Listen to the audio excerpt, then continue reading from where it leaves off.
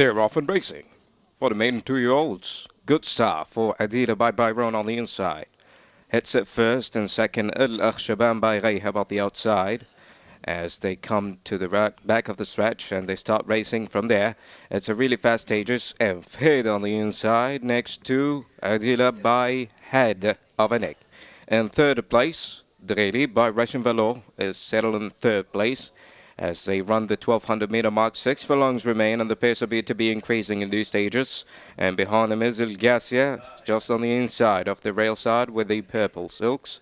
And on the inside, La Balaga by Zavada is in the seventh place on the inside next to the rail side. They turn for the home, and from the outside, here comes the rest of the field. It's going to be lit between them as they turn for the 600 meter mark. Head and uh, Adila. They had head together till now. And uh, Adrelib is watching the Wobbit in front of him as they come down around the 600 meter mark.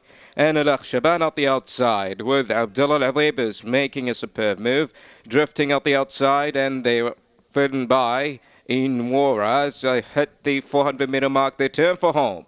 In between them is, as we see all with the Silks, Jebel Qasion, Patrick Daksak with Naif Lanizi is hitting the 200 meter mark. And Naif is keeping pushing, and this horse is responding in crazy performance as they hit the 4 2 50 left to go. Naif with a superb move towards the lead, trying to score. It's the 50 meter mark. It's going to be for Jebel Qasion with a rate for Naif and beautiful train bar job by Khalid Chalabi out of Partinge.